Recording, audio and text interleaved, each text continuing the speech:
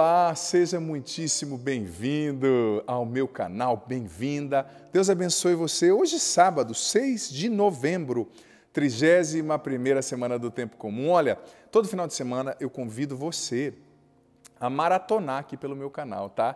Tem muita coisa boa, playlist sobre com orações fortíssimas, cura da depressão, da ansiedade, proteção espiritual, cura da tristeza, Uh, também temos, eu tenho conteúdos aqui sobre temperamentos, sobre cura interior, relacionamentos, homilias em acampamentos mais aprofundadas, pregações minhas no Sorrindo para a Vida, os programas para ser feliz, os meus clipes, as minhas músicas, o programa Minutos de Sabedoria, que é postado todas as segundas ao meio-dia, com textos dos doutores da igreja muita coisa boa, tá? Muita sabedoria, muita espiritualidade para você viver. Então aproveita que é sábado, que é final de semana, deixa rolando aí a playlist das homilias, a playlist dos clipes e das músicas, enquanto você está fazendo comida, enquanto você está limpando a casa, enquanto você está malhando. Aproveita o final de semana para se abastecer espiritualmente, tá bom? Olha, se você é novo, nova aqui no canal, já se inscreve no canal agora, ativa o sininho aqui das notificações, tá? Para você ser informado, informada todas as vezes que entrar um conteúdo novo por aqui. E deixa agora já sua curtida, o seu like, seu joinha nesse vídeo, me ajuda a evangelizar. Faça isso, sabe? Porque o YouTube entende que é um conteúdo bom e entrega esse conteúdo para mais pessoas, tá certo? Olha, o evangelho de hoje, sábado 6 de novembro, o evangelho está em Lucas 16, versículo do 9 ao 15. Naquele tempo, disse Jesus aos seus discípulos: Usai o dinheiro injusto para fazer amigos, pois quando acabar, eles vos receberão nas moradas eternas. Quem é fiel nas pequenas coisas, também é fiel nas grandes. E quem é injusto nas pequenas, é também injusto nas grandes. Por isso, se vós não sois fiéis no uso do dinheiro injusto, quem vos confiará o verdadeiro bem? Ora, se não sois fiéis no que é dos outros, quem vos confiará o que é vosso? Ninguém, quem vos dará o que é vosso?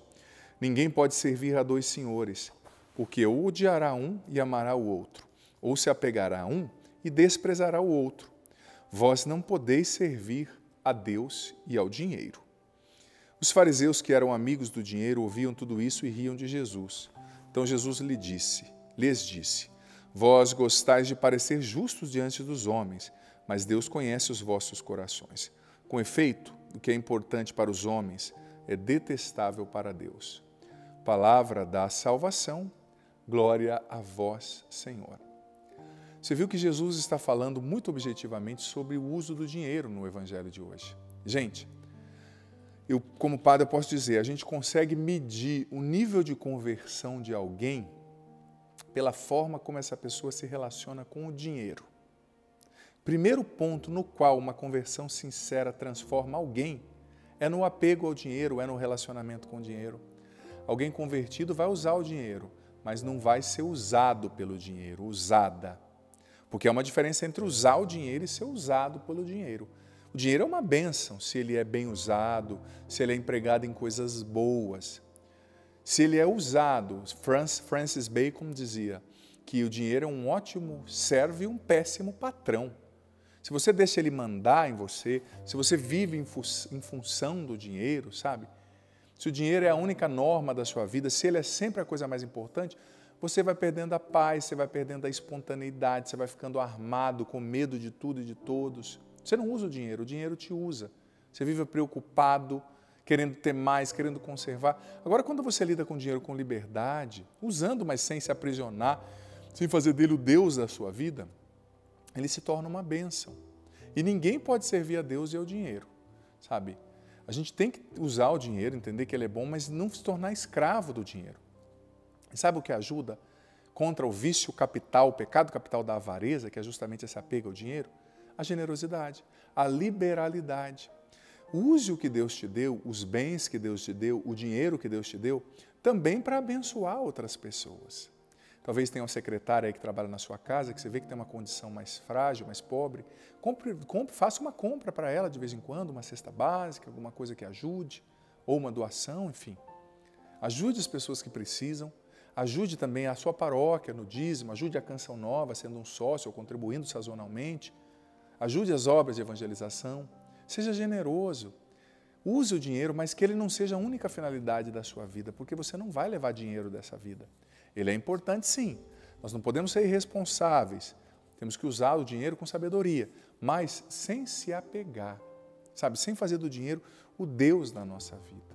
Ele não pode ser o único sentido da vida. Ele é um aspecto, mas não pode estar no centro. Quem tem que estar no centro é Jesus, o Senhor e a palavra dele. Senhor, obrigado pela tua palavra, obrigado, Senhor, pelo teu amor derramado nos nossos corações. Eu te agradeço. Ensina-nos, Senhor, a, a, usar o dinheiro, mas não amá-lo, que nós amemos somente o Senhor. Que o dinheiro não seja o nosso patrão, mas o nosso servo. Abençoa-nos também, dá-nos prosperidade em tudo que fizermos e encha-nos com teu espírito. O Senhor esteja convosco, Ele está no meio de nós. Desça sobre vós, sobre a água que vós apresentais permaneça para sempre. A bênção do Deus Todo-Poderoso, Pai, Filho e Espírito Santo. Amém.